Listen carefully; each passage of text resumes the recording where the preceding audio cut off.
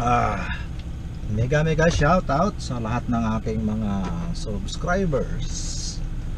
Sa mga di pa naka-subscribe sa aking channel, ay aba, mag-subscribe na kayo.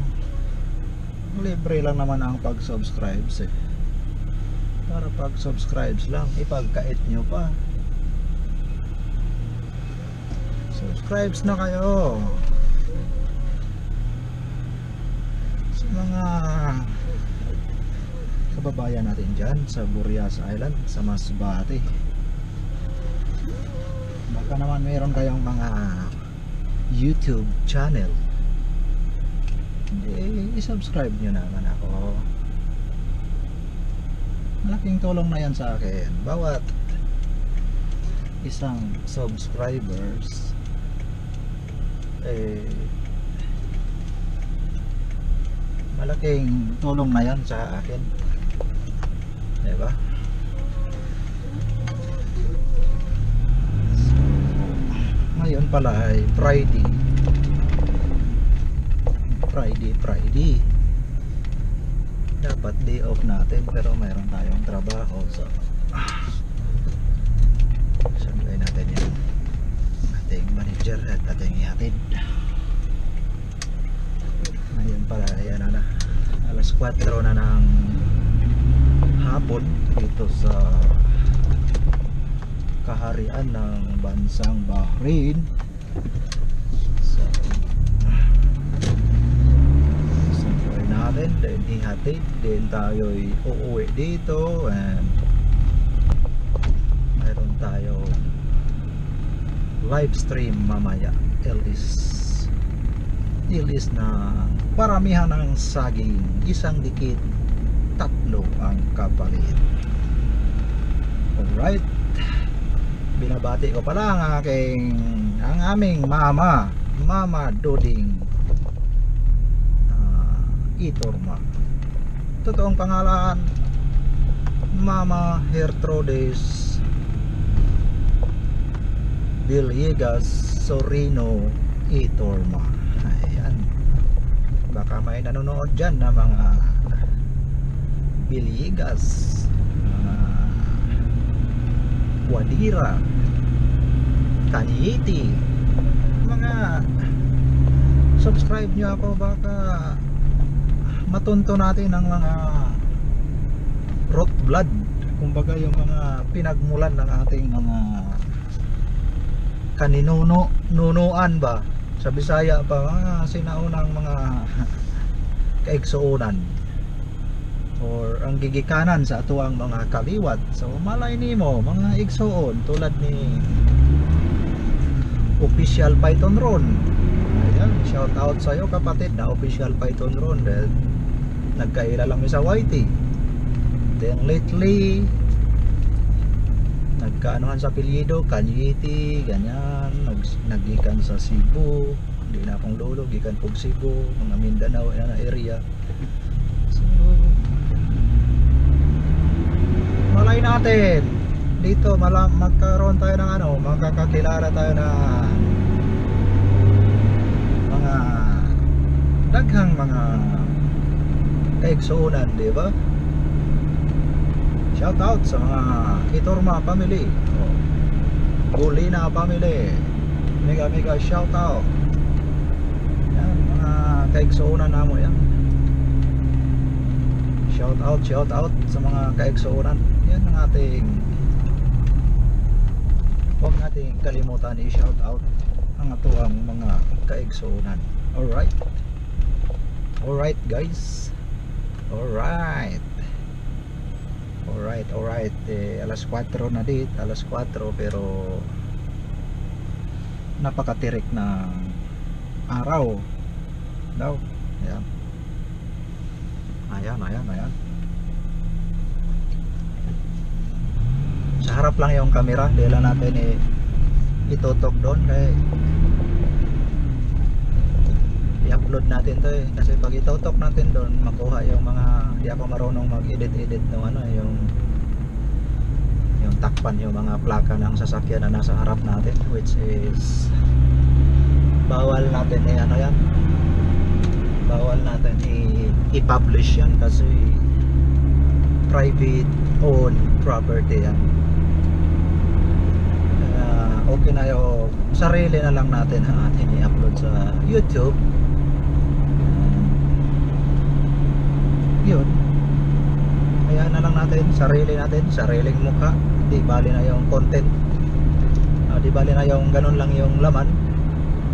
At least wala tayong magawang violation against someone or somebody's property. So yan na lang chika chika binabati ko lahat ng mga kabarangay ko dyan sa barangay Mababang Baybay sa isla ng Borias sa bayan ng Claveria sa probinsya ng Masbate. So kumusta kayo dyan mga kapatid? Binabati ko ang aking brother-in-law. Ah hindi brother-in-law. Ah, brother-in-law din si Cesar Orcales Jr. Nonoy kumusta dyan bro? At ang aking bilas si Kuya Eljon Bustamante. Yan kumusta kayo dyan? Ingat kayo palagi. Kasi si Panding nandito pa sa ating paligid. Si Panding ay hindi nakikita kaya ingat na lang tayo palagi ha? Stay safe and stay healthy. And yan hopefully someday ma-neutralize na to si Panding kauwi tayo kita kita banding banding with our loving family. Alright diba? Ganun lang yan kasimple. So ako malapit na dito sa restaurant.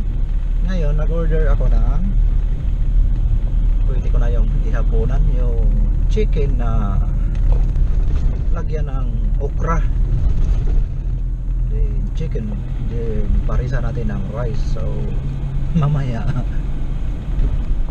imukbang ko na naman yon magandang ano yon magandang pang content na naman yon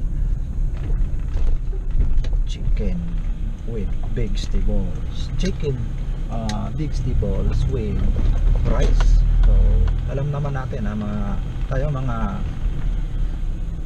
Filipino hindi tayo nabubuhay eh kung walang kanin talaga sa ating mga hapagkainan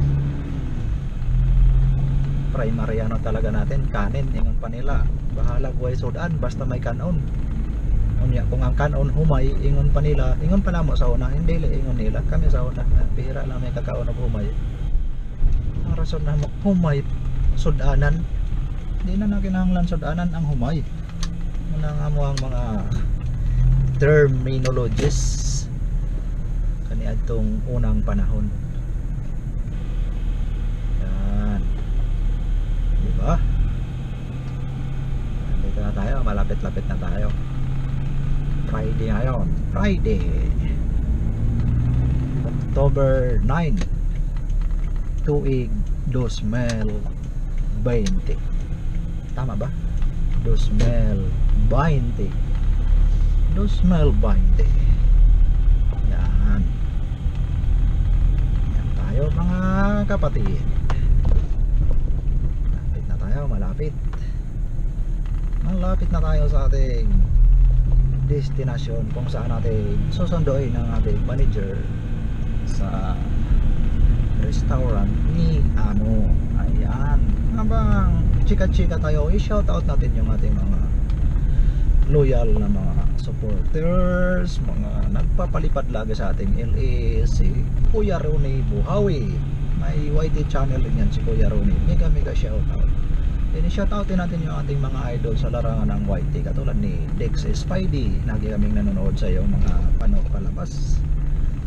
Yung ni ano star star actor si Yonggi natutuwa ako kay Yonggi at saka yung mga content ninyo more on mga trabaho sa bukid pagkain banding banding with mga ah, relatives so yung idol jumper sniper ay Lily's Wonder Vlog. Laging nagpapalipad yan. Si My Diary TV, mega mega shout out to you ma'am.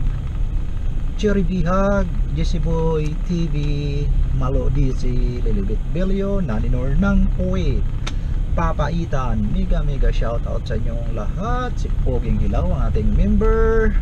Si Monty Mangyan in Austria also, uh, one of our member as well. So, mega mega shout out sa inyo at sa aking napaka-supportive na ka- kaibigan, kasama kapatid, pinsan, PJ Aprinica, Gino Kalumpag, yan, mega mega shout out. Yan. Sino man yung hindi ko na shout out, eh, pagpa umanhin nyo na at wala akong listahan. So, medyo mahina na rin ang aking meron na rin akong memory gap.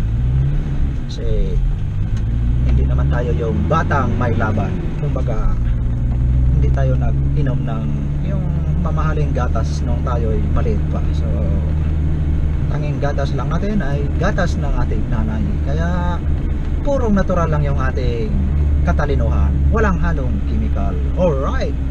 Yan guys, malapit na tayo dito. Malapit na, malapit na. Bakit ang laki ng tiyan ko dyan sa aking camera? Anong nangyari? Wala pa akong kain. Bakit ang laki ng aking tiyan? Yan, yan, yan. Yan. Hmm, nandito na tayo. Malapit na, malapit na talaga. So, yan. Kung may nagtatanong dyan kung bakit lagi akong kalbo, eh, ito talaga ang paraan para maitago natin ang katotohanan. Katotohanan na tayo'y puti na ang buhok. Yan na lang ang tanging paraan na na very economy